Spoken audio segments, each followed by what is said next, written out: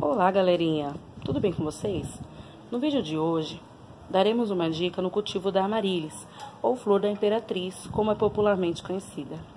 A amaryllis é uma planta bulbosa, herbácea, perene, que gosta de ser mantida em sol pleno ou meia sombra.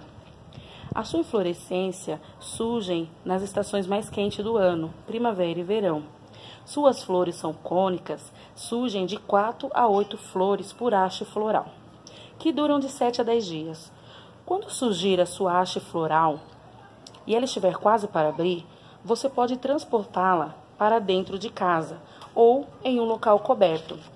Fazendo assim, sua floração durará por cerca de 20 dias, podendo admirá-la por muito mais tempo. Essa foi a dica de plantio de hoje. Fiquem com Deus, um beijo no coração, espero que tenham gostado. Tchau, tchau.